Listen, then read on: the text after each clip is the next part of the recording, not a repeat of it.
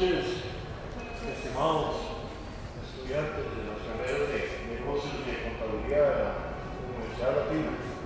Ustedes saben que hoy día la enseñanza, el proceso de aprendizaje y enseñanza ya no es solamente aquello de, los libros y la clase, sino que de vez en cuando es bueno, es saludable, es muy sano agregarle una pizca de realidad, una pizca de lo que pasa realmente, digámosle así, en el buen sentido de la palabra, en la calle. Para nosotros esta noche eh, nos da mucho gusto poder permitir este pequeño espacio de reflexión, al final de cuentas lo va a hacer, ya ustedes los conocen a ellos, ¿verdad? Porque se han hecho tan famosos en el país a través de un emprendimiento que un día iniciar y por qué no cualquiera de nosotros un día podría iniciar. Simplemente habrá que tener algunos ingredientes como ganas, deseos, lucha, superación. Ellos se lo van a contar ahora. ¿Cómo les ha ido mucho más, mucho mejor de lo que esperaban? El éxito les ha llegado muy rápido y eso también hay que administrarlo, el éxito. También hay que buscar cómo lidiar con eso. También hay que buscar financiamiento también hay que lidiar con costos, porque ellos han aprendido costos, más de que sabían en la universidad. Por si ustedes no lo sabían, ellos son egresados de nuestra universidad, razón de más entonces para de vez en cuando estar pidiendo que se vengan a dar una vuelta por acá. Yo les repito, espero que esta actividad les deje algún beneficio a ustedes, alguna reflexión, alguna idea.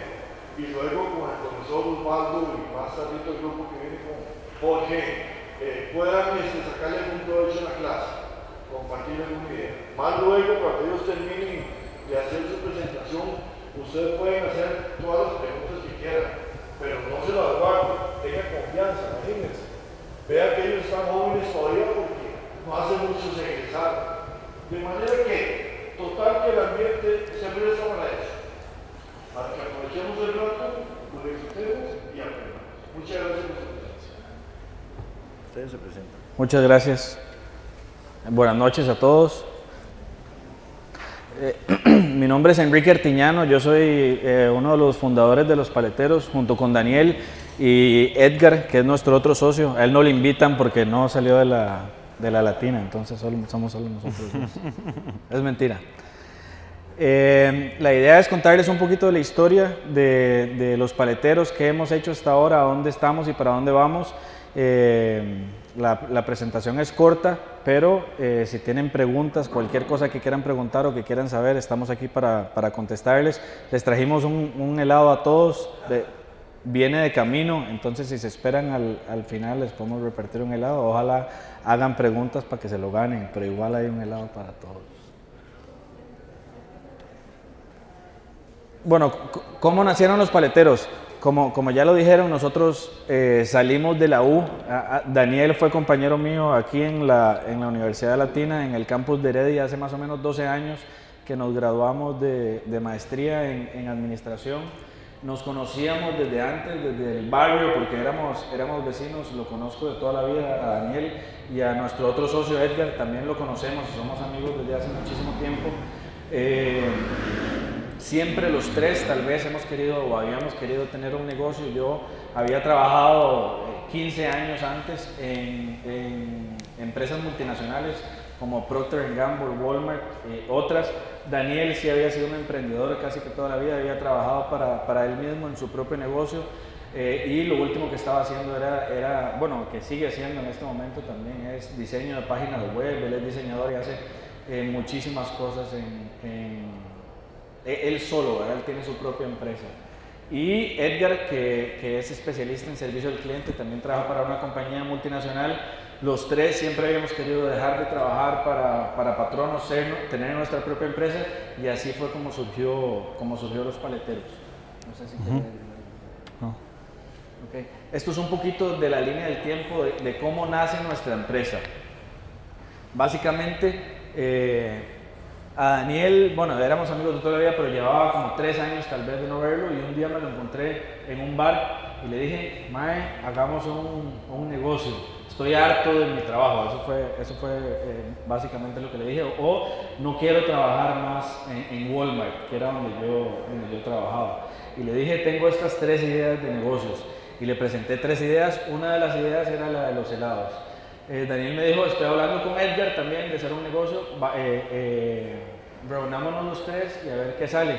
Entre las tres ideas, Daniel y Edgar escogieron los helados. Para mí los helados era la, idea, la última idea de las tres que yo quería hacer porque me pensaba que era muy complicado hacer un negocio de comidas con lácteos, competir contra dos pinos, etc. Era algo que yo veía factible porque sabía que, que, se podía hacer y sabía que era una buena idea, pero, pero de las tres era la que yo creía que era más difícil de ejecutar. Pero Daniel y Edgar fue las que, las, la, la que más le gustó eh, y nos decidimos por esa idea y nos lanzamos 100% a tratar de desarrollarla. Eso fue lo que, lo que tratamos de hacer. La primera reunión la tuvimos en mayo del 2015, esa fue cuando yo me encontré a Daniel y me dijo, reunamos con Edgar, nos reunimos el jueves, como, como que inmediatamente los, los, los dos nos decidimos, hagamos el negocio, hablamos con, con Edgar y, y, entre los tres se, formó como una química de que queríamos hacer esto. Y, eh, la, reunión, la primera reunión la, tuvimos en mayo de 2015 y en junio, un mes después, ya teníamos hecha la sociedad, eh, que es el primer paso para formar la empresa, Para, formarla o hacerla formalmente.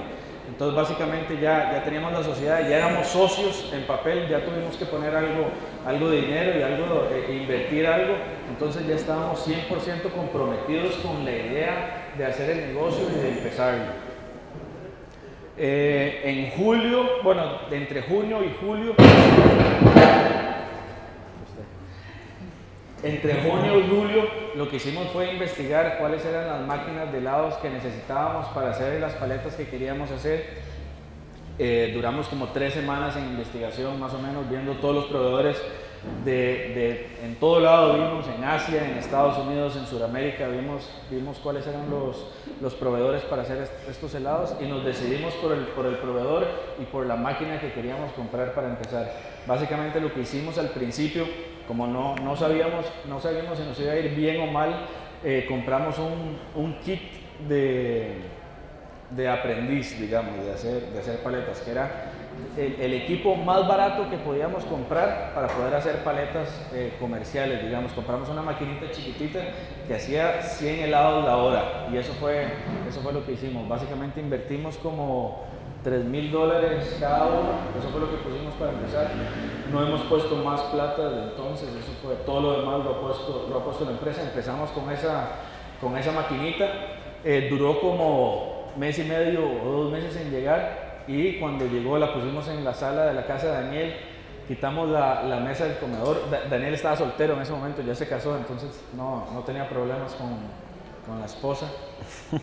quitamos la, la, mesa del comedor de la casa de él, movimos las sillas, movimos los sillones y montamos una fabriquita pequeña de, helados en la sala de Daniel. Como Daniel trabaja de la casa, él se quedaba todo el día haciendo helados de, de todos los sabores que ustedes imaginen. Eh, haciendo helados en la casa todo el día. Yo, yo trabajaba muy cerca de, la casa de Daniel, entonces a mediodía me iba a probar los helados que Daniel había hecho en la mañana y me devolvía como con 15 helados que se los daba a todos mis compañeros del trabajo y me decían si estaban ricos o si estaban feos. Básicamente así fue, así fue como empezó. Entre, entre julio y septiembre, cuando llegó, cuando llegó, mientras llegaba la máquina, nosotros también pensamos en cuáles eran los helados que más, que más le iban a gustar a los ticos. Eh, nos enfocamos en, tratar de tropicalizar eh, los helados para que fuera algo agradable al paladar y diferente a lo que había. Y ahí, en, ese, en ese mes y medio, pensamos en, en la churchileta, que es el helado que, que, es el más famoso de los que tenemos.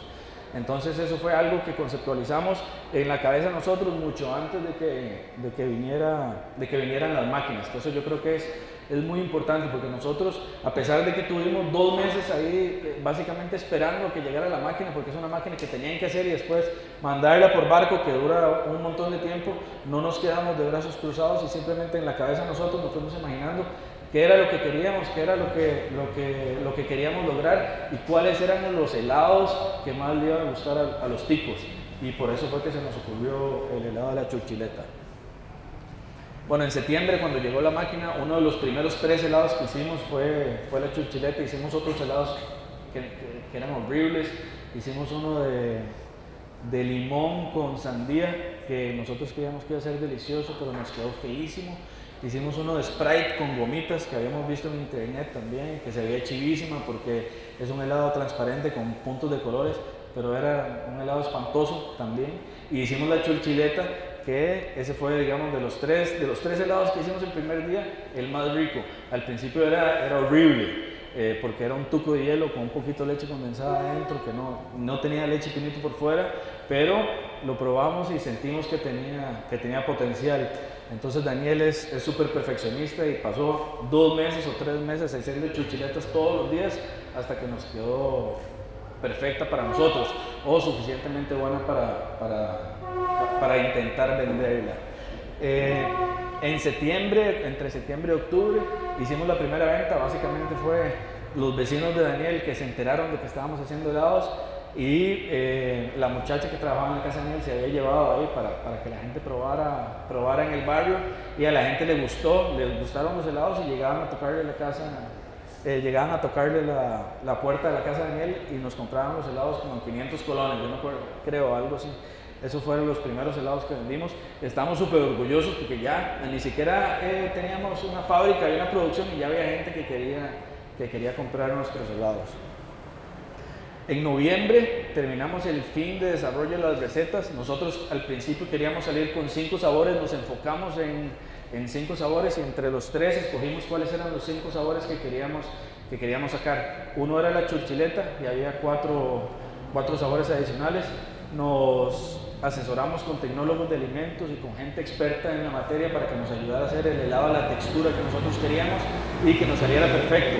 Duramos como tres o, cuatro meses en desarrollo de recetas y en noviembre, más o menos a mediados de noviembre, ya terminamos, terminamos el desarrollo, nos sentíamos suficientemente cómodos con los cinco sabores de, de los helados que teníamos.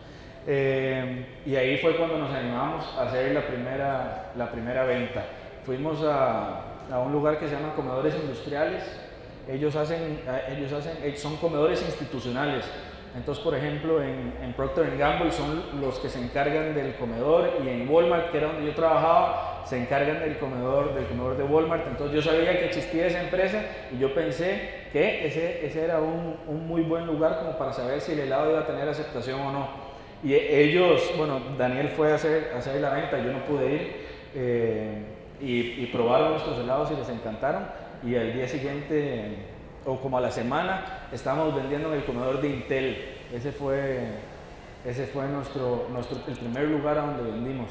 Básicamente lo que hicimos fue montamos un mini stand, llevamos helados eh, de todos los sabores, los partimos en cuadritos y se los regalábamos a la gente para que, para que probara. Teníamos un congelador a la par donde la gente los podía comprar y ese día vendimos un montón y estábamos súper emocionados. Eh, me acuerdo perfectamente de, esa primera venta porque fue, o sea, nos fue mucho mejor de lo que esperábamos ahí en esa, en esa primera venta y comedores industriales. Inmediatamente de, de, después de Intel nos metió en otros tres comedores o cuatro comedores que también tenían, entonces ya nuestra empresa empezó a vender, bueno, en ese momento vendíamos como 400 helados a la semana o 400 helados al mes, que para nosotros era un montón eh, mucho más de lo que esperábamos, pero todavía era, era una cantidad bastante pequeña. La primera red social que, que, abrimos fue Instagram y ahí fue donde nosotros empezamos a postear fotos de nuestros helados y de gente comiendo, comiendo helados y la gente empezó a postear fotos de ellos comiéndose los helados de nosotros, que a nosotros fue, fue algo que la gente empezó a hacer, no fue algo que nosotros queríamos que pasara, pero así fue como nos, nos conocimos o nos dimos a conocer y en diciembre, sí, como a finales de diciembre, eh, nos acordamos que la primera persona posteó un helado a nosotros en Facebook. Y ahí fue donde nos empezamos a conocer más masivo. Instagram era algo, algo más pequeño, donde teníamos, yo no sé, como 100 seguidores, una cosa así. Y ya a partir de diciembre la gente estaba comiéndose las chuchiletas y posteándolas en Facebook. Y la gente empezó a decir, ¿a dónde se consigue ese helado? Qué rico se ve y un montón de cosas. Entonces empezó a crear una campaña expectativa eh, automática, ¿verdad? No fue algo que nosotros planeamos, pero la gente estaba persiguiendo nuestros helados y solo se podían conseguir en el comedor de Intel y en, otros dos comedores. Eh, y, la gente como que se empezó a volver loca por, por, conseguir los helados, que era algo que nosotros no, no esperábamos. Eh, nos esperamos como tres meses más o menos para abrir Facebook, no sabíamos qué iba, qué iba a pasar. Yo quería abrirlo mucho antes, el, la red social, para darnos a conocer, pero en realidad no estábamos listos para, para manejar lo que pasó. Fue Daniel que decidió que no lo abriéramos todavía eh, para, para, llevar la cosa un, un poquito más, más tranquilo y poder manejar y atender a la gente como, como se merecía. Eso, eso, por eso fue que no lo abrimos, que no lo abrimos inmediatamente. Bueno, ese fue el primer helado que hicimos. Básicamente, mientras llegaba la máquina que compramos, que fue ese periodo de dos meses, yo me compré una maquinita en, una tienda china, eh, que ni me acuerdo dónde es, y eh, eh, que hacía estas tres paletas. Uno las la metía en el congelador y duraba como dos días congelando, y, esa fue la primera paleta, la primera paleta que hicimos. estaba deliciosa en, en ese momento. Este es Daniel en la casa de él, en la sala. Esa fue la primera vez que sacamos, que logramos sacar el molde de las paletas enteros sin que se nos quebrara una paleta. Entonces, él estaba solo, pero nos mandó una foto a nosotros al chat, al chat de WhatsApp. Saqué, el, saqué el, el, molde entero, que eran 26 paletas sin quebrarse. Eso para nosotros era increíble porque no lo habíamos podido hacer en 100 veces que habíamos tratado. Esa paleta es de chocolate, pero era horrible. Ahí donde la era, era un tuco de hielo que, que, sabía, que sabía espantoso. Pero bueno, habíamos hecho un gran logro de lograr que las paletas salieran del, del, molde sin que se quebraran, que no lo habíamos podido hacer en, en, un montón de tiempo. Ya desde ahí, ya empezamos a sacar moldes enteros y ahí fue donde, donde empezamos a perfeccionar la, la, receta un poquito, un poquito más. ¿Quieres seguir? No sé. ¿Ah? Bueno, como, como les contó, habla mucho Enrique.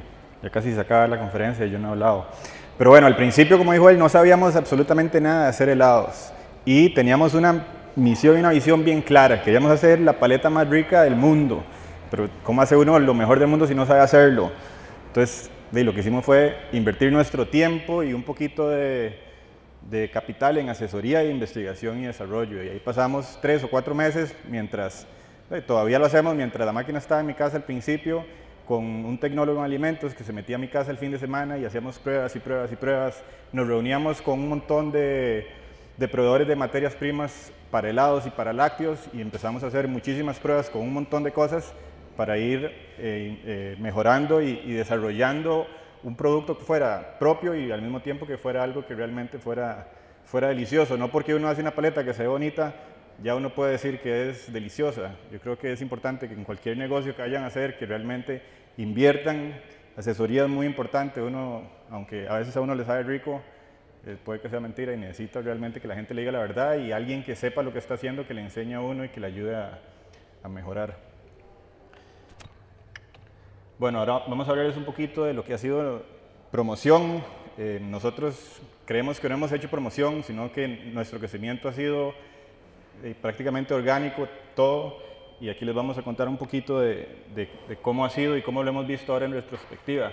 Primero que todo, no hemos gastado un 5 en, promoción ni en, ni en, publicidad en redes sociales, todo ha sido eh, orgánico. Y algo que pasó con, bueno, parte del, del éxito que tuvimos nosotros fue que los, los medios de publicidad se interesaron mucho por nuestra historia. Eh, la historia esta que les venimos a contar a ustedes ahorita. Tres amigos que empezaron un negocio, que salieron al mercado con un producto innovador y bueno, y lo que hicimos fue aprender a, a contar la historia e ir a un montón de, de medios de, de, publicidad a contar la historia. Y eso generó muchísima atracción que se convirtió en muchos likes en redes sociales que terminó haciendo que el producto fuera, fuera muy popular. Hemos hecho como, como 40 eh, entre entrevistas y conferencias desde, desde marzo más o menos, que, que, hicimos la primera por ahí en, en, Canal 7 o no sé por dónde, y eso nos ha generado eh, gran parte de, del éxito que tenemos hasta hoy. Aquí estamos en, en, Canal 7, esto fue en las noticias de la mañana, como a las 7 de la mañana. Me acuerdo que Enrique y yo estábamos, no sé si puedo decirlo, cagados, literalmente, y yo no quería hablar, entonces yo le dije, Mae, yo me voy a comer una paleta en tele, usted hable. Y literal nos sentamos y empezamos a hablar, y bueno, y la paleta, y yo y la saqué y me la empecé a comer. Y obviamente muchísima gente, ese día subimos como 10.000 likes en Facebook solo por, por ir ahí a, a pegar hueco en, Canal 7. Eh, después Kikín se fue, Enrique se fue corriendo a, a Buen y, y, le regaló a los muchachos de Buen Día y por ahí salió Viviana, salió la carota Viviana comiéndose la paleta y también ese tipo de cosas nos, nos ha dado muchísima, muchísima atracción. Aquí está el primer, el primer eh, mes de likes desde que abrimos Facebook y bueno, fue una locura el primer mes como lo que crecimos ya hoy, estamos 6, 7 meses desde que abrimos y estamos llegando a los 105 mil, pero en ese mes gracias a todas esas cosas de, de medios eh, subimos 42 mil, logramos subir a 42 mil likes. Gran parte de, la razón, como dijo él al principio, que no quisimos abrir redes sociales al principio, especialmente Facebook, fueron dos. Una, que cuando nosotros empezamos, que es algo importante, sacar permisos en este país es un dolor de cabeza, eh, patentes, permiso de salud, todas esas cosas es una burocracia horrible y duramos muchísimos meses. Entonces, en un principio ya habíamos arrancado, ya teníamos producto en la calle y todavía no teníamos la patente, entonces estábamos como escondidos. De hecho, cuando nos llamó Canal 7, nosotros no queríamos ir, tuvimos que negociar con ella dos semanas y de exclusividad y no sé qué para, para que nos diera chance de tener todo en orden antes de salir a, dar la cara. Fue, fue gran, gran parte de, la razón, pero había que seguir adelante, entonces ahí había que, que jugársela como, como pudiéramos. Pero bueno, esto fue lo que pasó que la gente se enamoró de la foto de la chuchileta y de otras paletas y cada vez que una persona sube una foto a, Facebook o a Instagram, de todos los amigos se dan cuenta y, la conocen. Eh, de aquí ninguna de estas fotos la hemos tomado nosotros, todo ha sido, y hay miles más en, redes sociales y, en internet, y esto es parte de lo que nos ha generado también tanta, tanta fama la chuchileta. Bueno, ¿Qué pasó? Que nos hicimos famosos, pero teníamos una maquinita, ¿verdad? Para empezar. Sí, bueno, entonces teníamos 40 mil fans en, en Facebook y, bueno, toda esa gente tiene un montón de amigos que le cuentan, ¿verdad? Entonces eran como 100 mil personas que querían nuestros helados, pero nosotros solo estábamos haciendo 8 mil helados al mes, ¿verdad? Entonces era eh, un montón de gente queriendo chulchiletas y nosotros solo podíamos complacer a, muy poquitos y los vendíamos en, como en tres lugares en ese momento, que eran un, supermercado pequeño eh, en un oficentro y una soda en Heredia y, y ya, básicamente. Entonces la gente podía ir ahí y llegaba, se hacía fila en esos lugares para comprar los helados y solo había 100. Entonces cuando se gastaban 100, ya todos los demás que, entraba, que entraran se ponían bravos porque llegaron a comprar el helado y no, y no había. Entonces eso fue un problema, un problema que tuvimos. La capacidad de producción, no esperábamos, eh, no, esperábamos eh, que la gente eh, quisiera tanto, tanto nuestros, nuestros helados y nosotros no estábamos listos para, para, para, abastecer. Como se dieron cuenta, al principio duramos tres meses o dos meses y medio en traer la máquina y nos tuvimos que esperar otros dos meses y medio en traer el equipo, el equipo siguiente, la siguiente generación que hacía como 100 mil helados. Eh, en esos dos meses y medio más o menos, era un montón de gente en Facebook eh, brava quejándose de que no encontraba los helados y por eso mucho ring ring y nada de helados. Esta es una foto que subió, ¿cómo se llama él? ¿Cheche o Coche? ¿Cómo se llama? Coche. Ah, Coche, sí. Bueno, este, este MAE fue a, uno de los lugares donde nosotros vendíamos que, teníamos, que tenía el congelador y obviamente no había, no había helados porque llegó como media hora tarde. Entonces puso esa foto, esa foto en Facebook y tuvo, yo me acuerdo que tuvo como 4000 likes en una hora. A mí me pareció impresionante. Pero de ahí todo el mundo decía, ah, sí, estos MAE eh, no tienen helados. Y nosotros estábamos haciendo helados, nos dormíamos a las 3 de la mañana, a las 3 de la mañana haciendo helados. Entonces la gente empezó a hacer memes ese dice, esperando la chulchileta, y se hizo, se hizo de piedra, sí. La huelga de los, cop, de los coperos también, de que los coperos se quejan de que ya no haya más chulchileta. Y básicamente eso fue, nos tuvimos que, tuvimos que aguantar como cuatro meses o cinco meses de, de, gente quejándose de que no había chulchiletas y nosotros nos dormíamos, o sea, trabajamos todo el día sin parar haciendo helados, pero solo podíamos hacer 100 y, querían, y, la, y eran miles de personas que querían, que querían los helados. Entonces tuvimos que aguantar eh, críticas y quejas de la gente, pero bueno, tratando de manejarlo lo mejor posible y tratando de, de que fuera como una, como una campaña expectativa, ¿verdad? Como la gente no la conseguía, el que sí la conseguía inmediatamente se tomaba la foto para rajar de que ya consiguió, de que ya consiguió los helados y todos los otros amigos antojados diciendo que no existe o que dónde la consiguió o qué. Entonces lo que, lo que pasaba era, la persona que descubría dónde estaba la fábrica iba, una vez se comía una paleta, le contaba a los amigos y después los amigos lo mandaban como por 20 y ya le teníamos que decir que no podíamos porque se las teníamos que entregar al, mini super de la oficina de Ultrapark, que era, que era donde las vendíamos.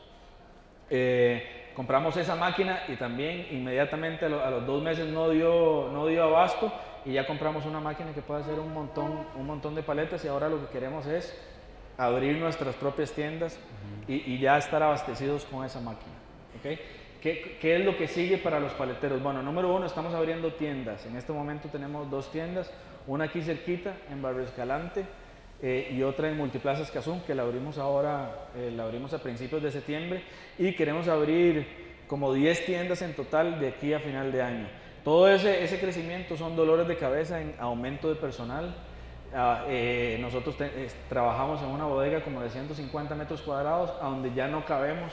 Ahí no caben ni los helados en el congelador que tenemos y no cabe la gente. Entonces estamos invirtiendo en una fábrica, en una fábrica nueva que va a estar lista más o menos en noviembre y ahí vamos a tener capacidad para meter la gente que nosotros queramos y para hacer los helados que nos dé la gana.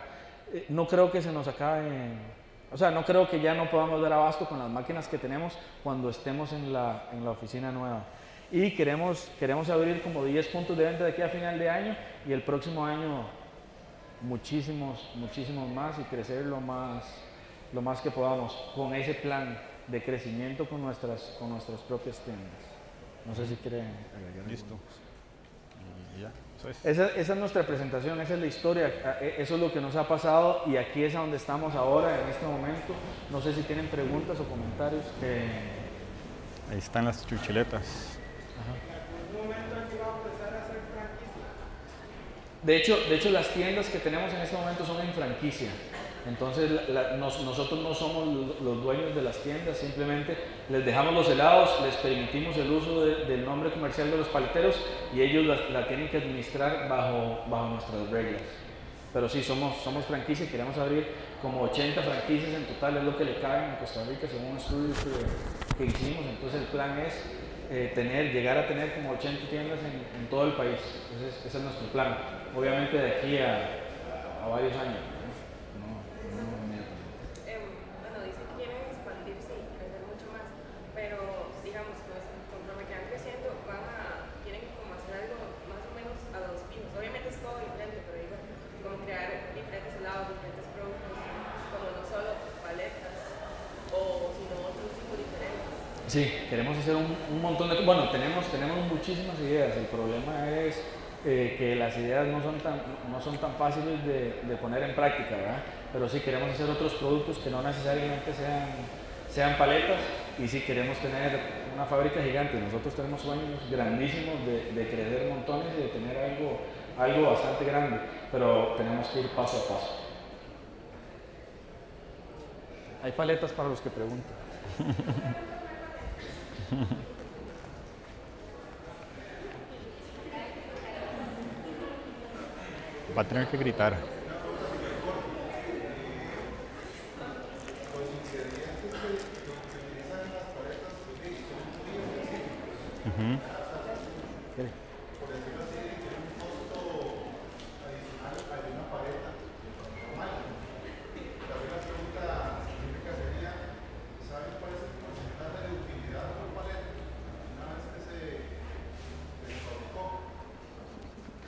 Bueno, Enrique es el de el administrador es- especial en finanzas. Yo soy el director creativo de la empresa. Pero bueno, tengo una maestría en finanzas de aquí, así no sé si eso, si eso ayudará. Pero bueno, eh, nosotros, como dije al principio, queríamos hacer la mejor paleta del mundo y desde un principio lo que hicimos fue hacer la paleta sin importar lo que costara. Queríamos hacer algo delicioso. Y una vez que Sí, vos empezás a, a trabajar a escala, las cosas empiezan a tener más sentido que cuando haces una sola paleta. pero sí, tenemos exacto el, el, el costo por paleta, el costo por ingrediente y, y, la utilidad que nos deja, sí, bien, bien exacta. No sé si Enrique quiere... No, eso fue desde que empezamos a hacer pruebas, eh, eh, nosotros ya teníamos un modelito en, en, Excel donde sabíamos exactamente el costo de la materia prima. Ahora que tenemos una, una fábrica un poco más grande y gastos variables que, que, cambian todos los meses, el costo varía un poquito y, y, y, trabajamos con esa desviación, ¿verdad? Pero sí, todos los meses yo sé cuánto nos costó las paletas que hicimos, que hicimos el mes anterior y debería estar muy en línea con el costo que ya sabemos que, que tenemos, pero sí lo trabajamos.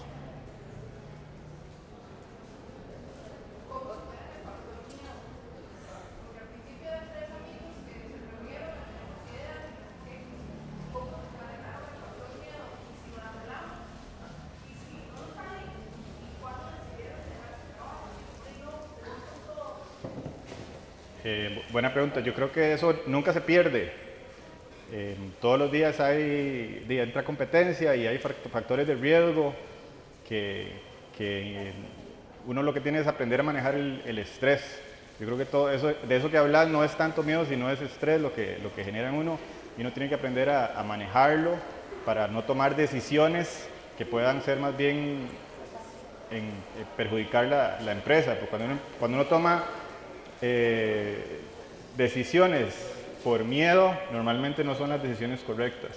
Entonces es aprender, saber que si uno está estresado, tal vez no es el mejor momento para, para sentarse y tomar decisiones importantes y hay que estar eh, con la cabeza tranquila. Por ejemplo, Enrique, por miedo de que las cosas no salieran bien en la empresa, lo que hizo fue que renunció a su trabajo y se metió de lleno a la empresa. No, no al revés de como usted lo está lo está pensando, que por miedo no, no se salía de la empresa, todo lo contrario, él quería que, que los paleteros salieran adelante, entonces dejó su trabajo para dedicarse 100% al negocio. Sí, sí. Perdón.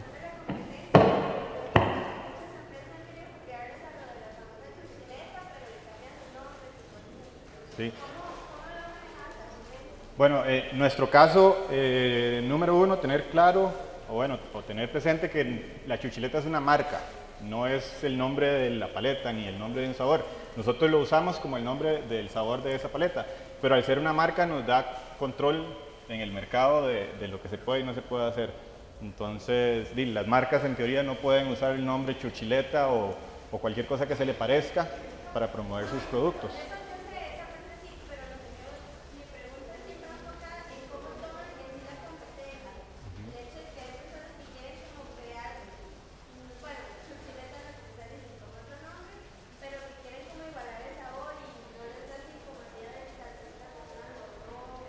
Sí, no, de fijo, nos, nos, genera un montón de cosas que es, es son buenas. La, competencia es buena, nos obliga a estar más atentos, nos obliga a, a, que las paletas que hacemos salgan siempre bien, nos obliga a ir, pensar en innovar a futuro también para que cuando todas las compañías de helados tengan su, su, su sabor a, Churchill, nosotros ya estar saliendo con algo nuevo y seguir innovando.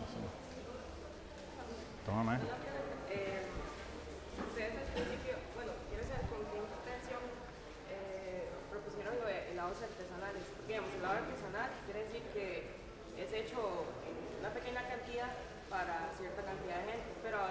ya están creciendo, entonces ya no va a ser artesanal. O, o sea, quiero, quiero... Sí, bueno, eh, la palabra de definir artesanal, no, no, sé exactamente qué significa. Nosotros los helados los, los hacíamos a mano al principio eh, y todavía eh, mucho, mucho del componente de, de, nosotros, nuestra fábrica no es 100% automatizada, digamos como la Dos Pinos, entonces muchísimo sí se hace con, con cariño, con amor eh, y, artesanalmente, digamos, hay, mucho, mucho manual. Entonces, para, para mí, siempre vamos a hacer, o, o, siempre, nuestro, siempre podemos llevar el nombre, el nombre artesanal, aunque no, no esté muy bien definido, ¿verdad? ¿Qué es, qué es artesanal? Simplemente lo hacemos con cuidado, con los mejores ingredientes. Eh, tratamos de hacer eh, alianzas con pequeños productores también y entre todos nos tratamos, nos tratamos de ayudar.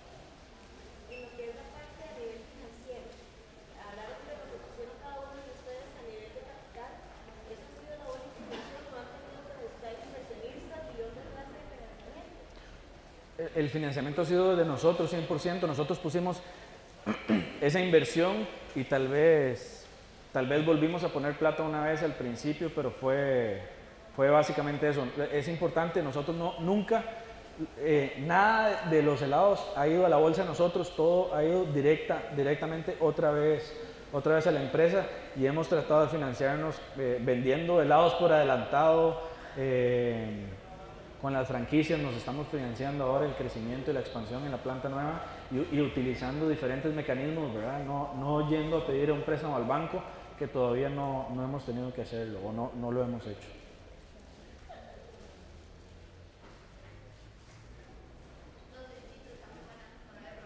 Gracias.